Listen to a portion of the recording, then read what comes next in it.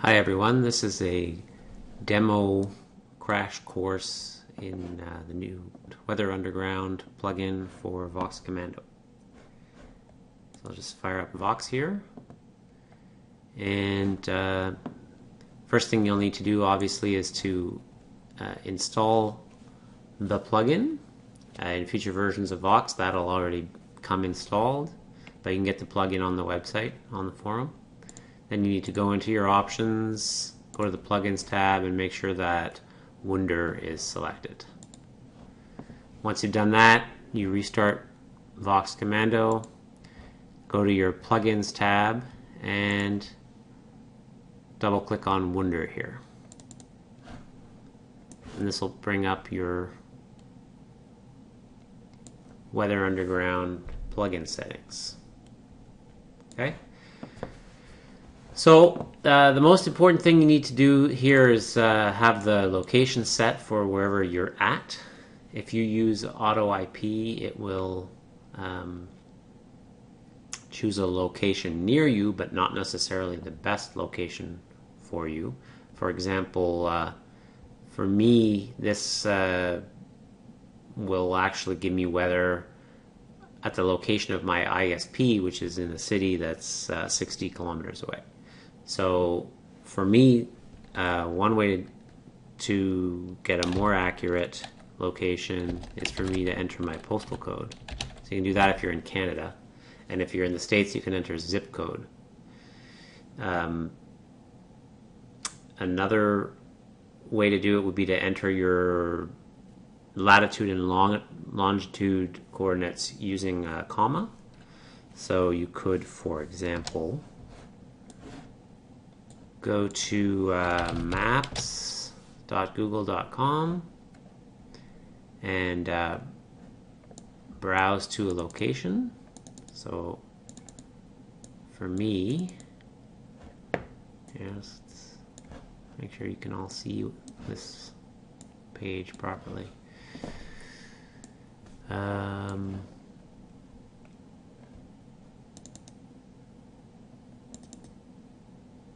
Where are we? Morin Heights. Alright. Oh, I'm somewhere around here. Oh, there's my house. Okay. If I go to this link button here, it actually gives me the coordinates. Oops. Oh, that's annoying. Alright.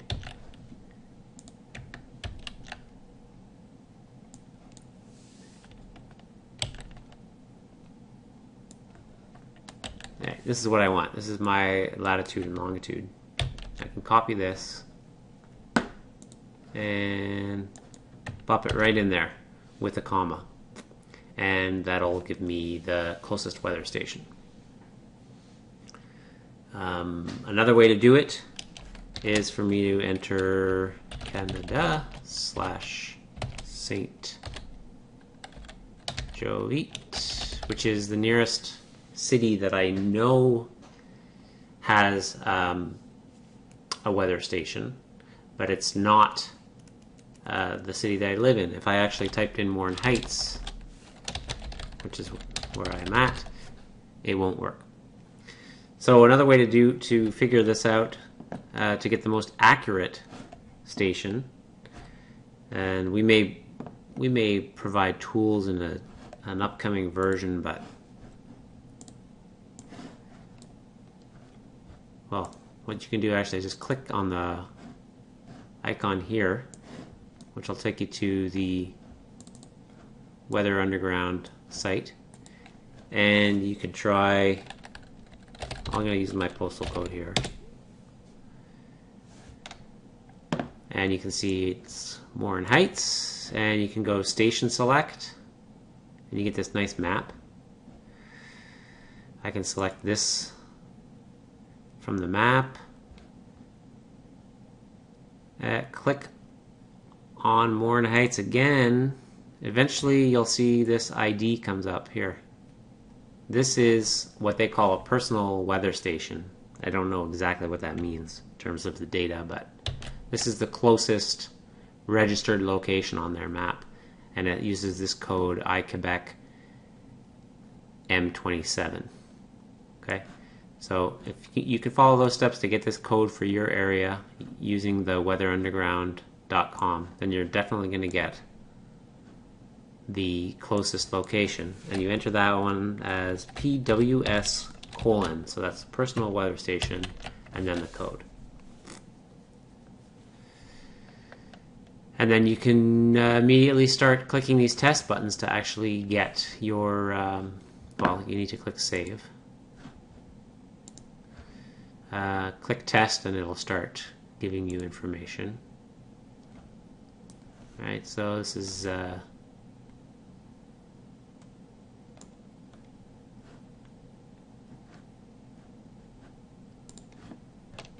giving me the weekday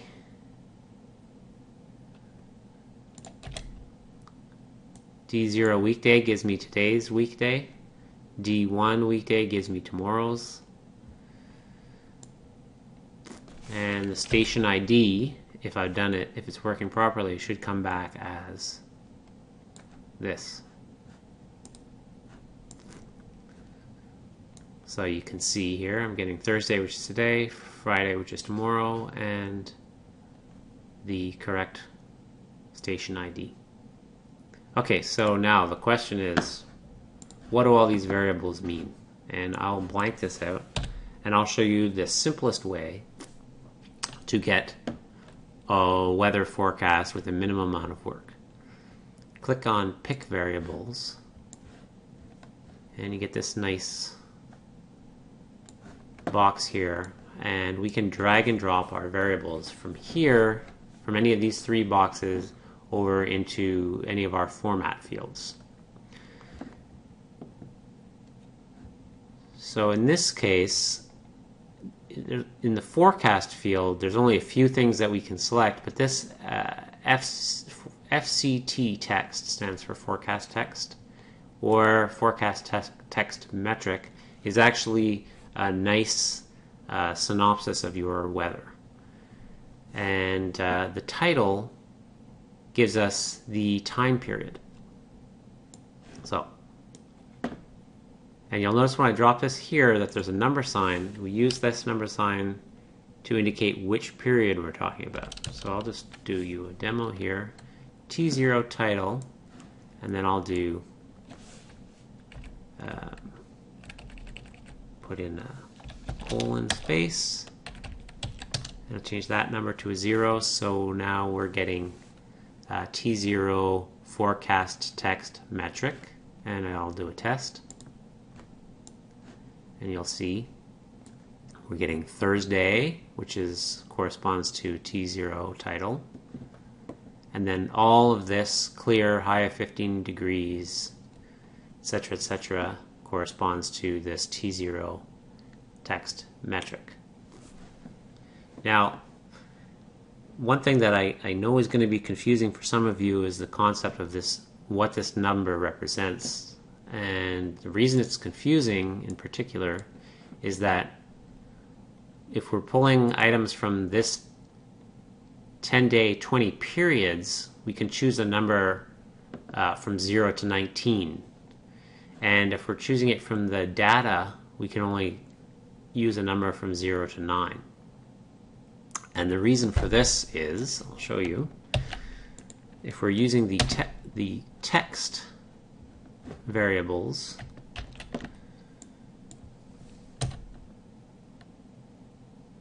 well, I'll just show you the title that shows you the period we're talking about. T0 title and T1 title refer to today during the day and today at night. So when I test, you'll see we have T0 title is Thursday and T1 title is Thursday night. And then if we add 2 and 3, this will be tomorrow and this will be tomorrow night. Thursday, Thursday night, Friday, Friday night. Okay, now the data does not work that way. The data, we have more variables to pick from, but they only uh, correspond to a full day. So if we want to know how much snow that we're going to get today, we would use this. If we want to know how much snow we're going to get tomorrow, we would put a 1 there. And you can, again, I can demonstrate this by using the weekday fields.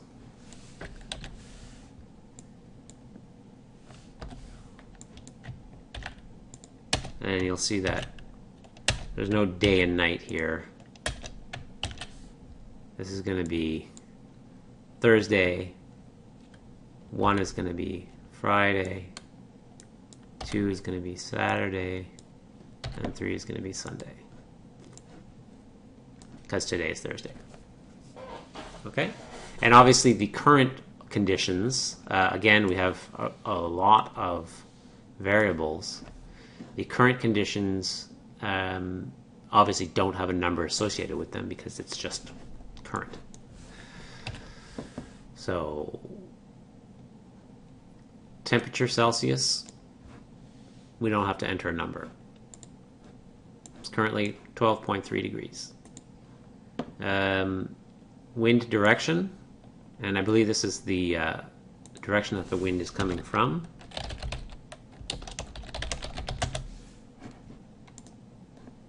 Coming from the east northeast. Um,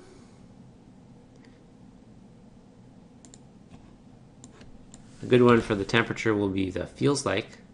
You'll notice that we have, uh, for the temperature, we have feels like C and feels like F. And you, you may wonder, well, why do we then have this metric or imperial option here?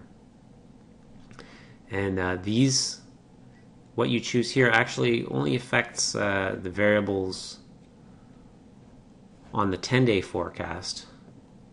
Uh, so, for example, uh, snow day, total snow for the day,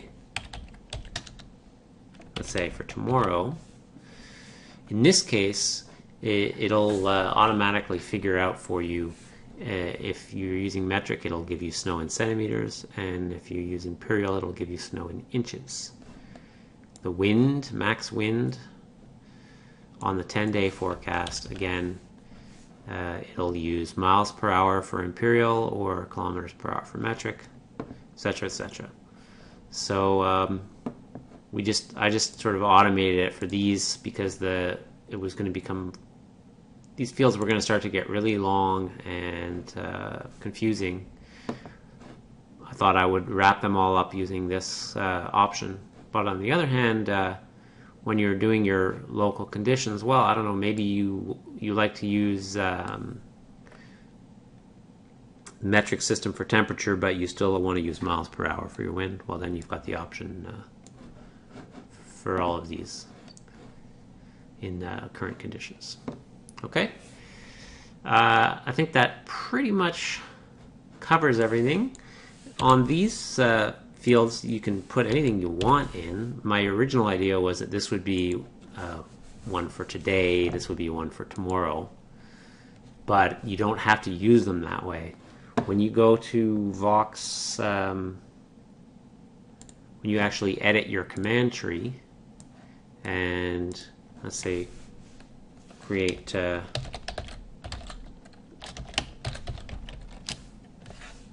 sample command here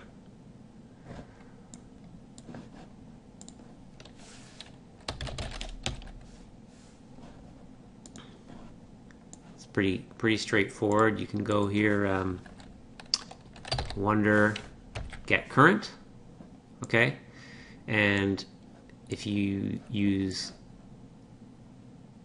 the wunder get current command, it'll use this format string for you.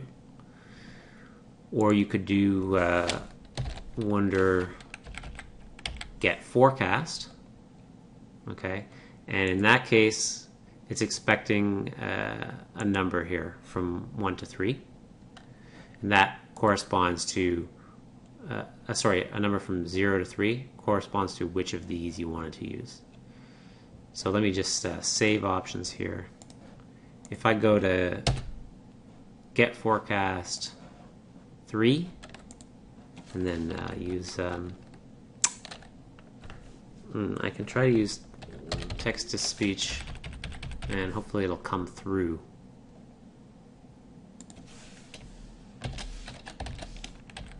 Last result.